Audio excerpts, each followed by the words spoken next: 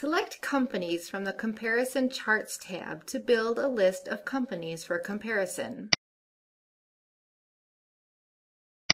Click the Add Remove button to select a company. Enter a company name in the search box. As you type, companies are suggested. Click the plus sign next to a company's name to add it to your list.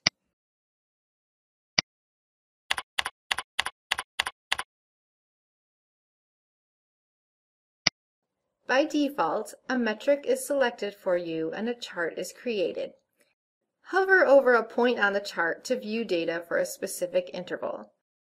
You can change the metric by selecting a new one from the pull-down menu.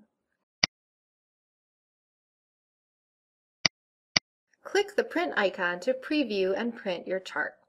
Click the download icon to export or save the chart as an image. You can change from chart view to table view by clicking the Table button. When viewing a table, you can download the data as a CSV file.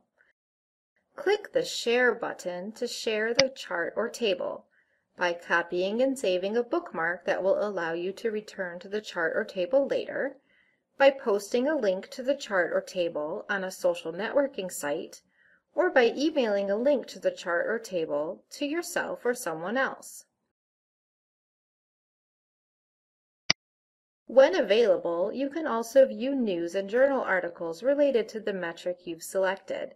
Click the Related Articles button to access news or journal articles.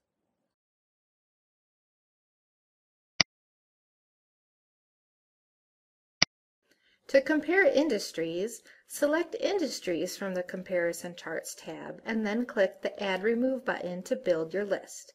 The Compare Industries feature works just like the Compare Companies feature.